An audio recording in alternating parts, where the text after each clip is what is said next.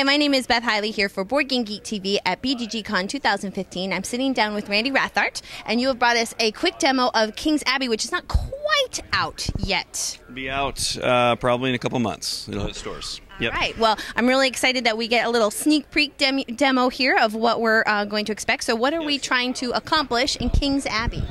Well, in King's Abbey, you uh, the backstory is there's a king that has uh, an idea to get out of the Dark Ages, and so that is to build a grand abbey. And so each player, it plays up to five players. So every player has their own player board, which represents an abbey.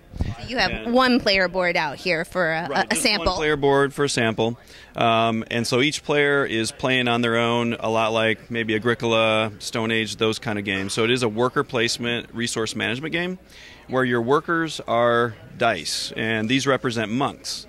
And so the king has hired monks and architects to finish the abbey.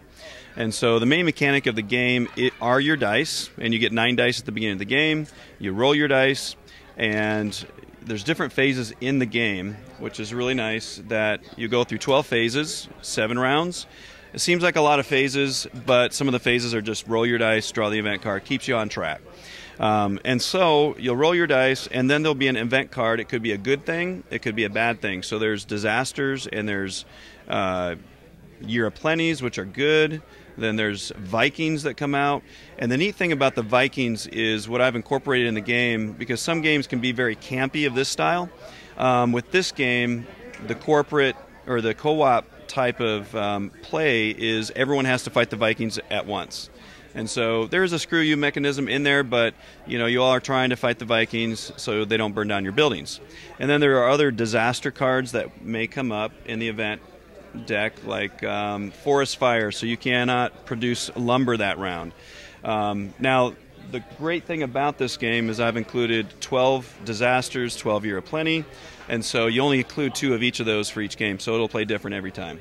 And so then you go and after the disaster, you're plenty, you'll start placing your dice. In your abbey, dice represent uh, one through three. You can bring peasants into your abbey.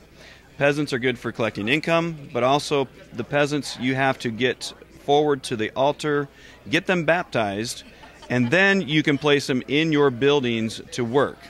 Um, so the point structure is this: that you have to build towers, which everyone gets six towers at the beginning of the game, and these help you with your defense. Um, and so the the workers will go into your towers to give you bonuses. And so your points come from your towers, your points come from your buildings, and your crusades. And so at the beginning of the round, all of the players must place their dice very appropriately because you got to save some of your dice to go out and gather resources. So one through three will bring peasants into your abbey. Fours, fives, and sixes will increase your clergy training. And so basically, all that means is you're moving your cross up to the top of each one of these columns. And as you get to the top, you get a bonus. You might get more defense for your abbey, you might get resources, and so on. Um, and then you also have crusades. So every uh, person starts with a crusade at the beginning of the round, and then you can buy crusades later on and keep crusades going. Crusades are great because you get big points for crusades. Um, the crusade part is really easy. You'll start off with one die out here. Can you see that? Is that okay? Um, you can start off with one die, and then you got to send a peasant out on the crusade as well. Once you start off with one die, you've got to match that die here on out. And so, say I, I went two fours, now I've got to have three more fours to complete this. And I'm going to get a Holy Grail, which will help me further in the game. It's a bonus. I can get sand, and I'll have eight points. Now, what will happen is when you put your dice out here, say I only have three fours, I don't have any more fours. Once this round is over, those dice stay out there. Those monks are out crusading, the peasant stays out there, and the neat, the other co op part of this game is you can ask for help. And you say, hey, I see you have a couple fours over there. Can you send some monks over? help me out, send a peasant, and we'll split the reward. So you can do that, um, and then that'll help you get the crusades. Those are, and then what happens at the end of the round? If you finished a crusade, you can flip the card over. The point structure is there for the end of the game. So you might think you're winning, but you might have a stack of crusades that will get your score up there.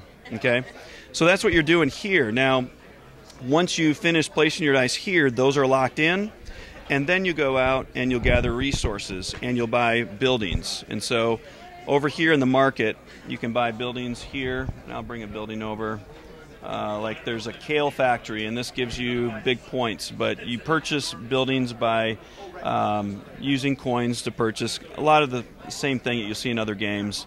You know, one, two, three, and four. And those are the things you're going to fuel back here on your Right, personal you're, board. You're kind of getting a little engine going here, and the game will play very differently each time because there's a buddy of mine that loves to play with the brewery. Um, the brewery gives you more points for your working peasants, but what happens is um, there's 18 different buildings in the game, three of each building, so that brewery may never come up during the game. And so your strategy has to change what kind of buildings that you build here, and then what other people are doing, and of course the crusades that come up. Now, I, I know a couple people asked, because we were talking about this a little bit before, that the version we have in front of us is the Kickstarter It's the version. Kickstarter version. Um, and so what you see here, you'll get in the main uh, version, the printed version, uh, maybe less a couple of things. Like this, this guy here was a Kickstarter component, and that's just to mark the de- the darkness. Now I will say the darkness here, real quick. Um, you're competing against the darkness. The darkness represents famine, plague, raiders attacking and you've got to keep your defense of your abbey equal to the darkness and the darkness gets greater every round and so it'll play for seven rounds and so each round this will go up and you got to make sure your defense of your abbey stays the same or you lose peasants and you lose points okay um, and so this darkness tracker will probably be a little disc won't change the game at all um, this nice wood token for marking your defense may change to a cardboard token. Um, this is probably going to stay in the game. This is the start player token because you have to actually go out during the resource gathering phase, um, take initiative in order to be the start player. And so you could be the start player for the whole game if you want to. Now, how do you think a full game would take us? How long? Well, I played with four players uh, yesterday, and they were all players that seemed to, and they were brand new to the game, but they seemed to know the this kind of game, and it took us an hour and a half. Um, but we did play the quick play version, which is nice. Um,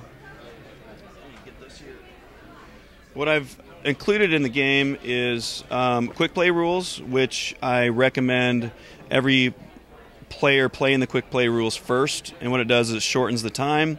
Um, it kind of gives you a bonus in your Abbey and your Darkness. Your defense is at three, so you have some time to build up. Um, so the quick play will shorten the game, but I usually say about 35 to 40 minutes per player, um, depending on if you have that player that likes to take five minutes per round on deciding. You know, you always have that. Well, and I noticed you looks like you got some solo rules in there as well. Yes, uh, on the other side, I have included solo rules, which the game plays. Uh, it, it really plays good one to five, um, but you know three to four is a really good. But solo, it really plays well. Now, a lot of people say, well, the solo thing, you know, beat your last score, and you can do that. But I've also included some missions. So, in search of the Holy Grail, the farmer, the mason. So you're you're focusing on certain aspects when you're playing the solo game. Um, I've also included um, cards that have all of the buildings, so you can pass this around and figure out what building you want to build each round. And so it will play um, different every time you play. That's what I like about this game. You know, if you have a strategy to go for, it may not be the same the next time you play it. But Well, Randy, I really appreciate you uh, taking a couple minutes out of the, your convention schedule here to give us a quick peek at King's Abbey. yeah, be looking for it. It should be hitting stores real soon. So Thank you so much. thank you, Beth.